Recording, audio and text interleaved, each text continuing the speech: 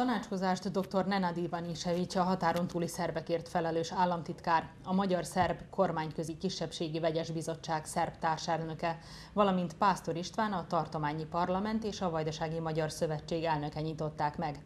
Mindketten kiemelték, még egyszer nem fordulhat elő, hogy öt éven át ne ülésezzen a vegyes bizottság, és hogy a két ország közötti jó viszonynak a kisebbségi közösségek a legnagyobb haszonélvezői több mint kétszeres a növekedés három év alatt. Ez a rendes működési támogatás mellett pedig a szerb közösség különböző projektjeit is támogatja a magyar állam, kiemelten a budai szerb ortodox egyházmegyének az ingatlan és elsősorban ugye értelemszerűen az egyházi ingatlanok, templomok, az egyházi múzeum rendbetételét, felújítását. Azon túl, hogy a magyar kormány figyelemre méltó eszközöket biztosít a kisebbségek számára, a legfontosabb köznevelési intézmények átkerültek az országos önkormányzat alapításába.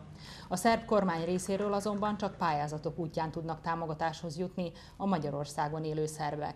Sőt, a kapcsolataink is elég gyengék, tehát mivel nincs már minisztérium és nincs már iroda, tehát nincs kihez forduljunk, hogyha Szerbiába szeretnénk valakihez fordulni, bármi kérdésünk, kérésünk, hogyha lenne. A ma Szabadkán megkötött együttműködési megállapodás a remények szerint sokszorosan megtérül majd, akár közös pályázatok útján, valamint a szakmai együttműködés erősítése okán is.